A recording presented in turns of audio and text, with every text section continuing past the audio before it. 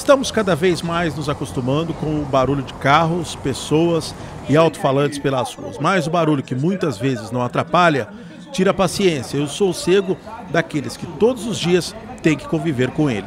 Tem muita caixa de som de loja que fica fazendo é, propaganda o tempo todo. As motos que passam fazendo propaganda aqui também, é, também incomodam bastante.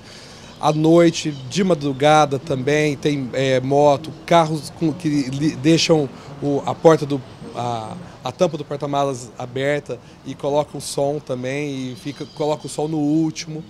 No carnaval eu tenho que sair daqui de casa, não posso ficar aqui em casa no carnaval. A medida do barulho é feita em decibéis e a lei do silêncio estipula uma quantidade desses por região e horário. Em área de sítios e fazendas, o máximo permitido é 40 na parte da tarde, enquanto na área urbana de hospitais e escolas é 50 e 55 na área predominantemente residencial. Com áreas para vocação comercial e administrativa, a quantidade de decibéis pela lei é de 60 e em área com vocação recreacional é 65 e industrial 70 no período diurno. A fiscalização fica a cargo da Polícia Militar, que recebe diariamente denúncias de perturbação tanto em festas e eventos como no comércio. Ela é feita através de é, desencadeamento de operação, principalmente de trânsito, é onde visa verificar a poluição é, produzida por veículos e também por veículos que fazem propaganda volante. Nós temos a, a, a fiscalização que é realizada em estabelecimentos comerciais que estão produzindo som, né, mediante demanda ou de iniciativa, depende muito da situação e como vai ser desenvolvida a, a aferição.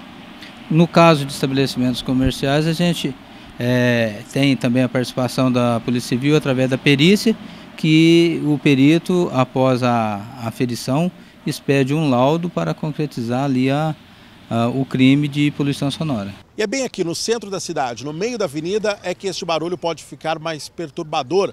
Sem o decibilímetro oficial, um aplicativo no celular, a tecnologia deixa que hoje a gente já faça essa medição. E aqui, no meio da avenida, está marcando 84 decibéis, um número bem acima do permitido. E a exposição frequente a este barulho pode causar problemas auditivos. Ela causa inicialmente irritabilidade, dor de cabeça, cansaço. Uh, as pessoas se cansam, né? Isso aí, e principalmente são esses sintomas. Agora, pode provocar sintomas auditivos, pode desencadear perda de audição. Além dos problemas auditivos, as cordas vocais também podem sofrer, e isto é costumeiro. Agora tem que falar um pouco mais alto agora, porque está fazendo barulho. Então, para quem tem animal de estimação ou tem criança em casa, é bem complicado mesmo. Para emitir a voz, ela tem que competir, ela tem que vencer aquele ruído ambiente para que a voz apareça. Né? E isso, é, a pessoa pode cometer um abuso vocal. Né? É, e isso desencadeia problema. As pessoas que têm problema de corda vocal, elas têm que evitar de qualquer maneira ambiente ruidoso porque provoca lesões na corda vocal.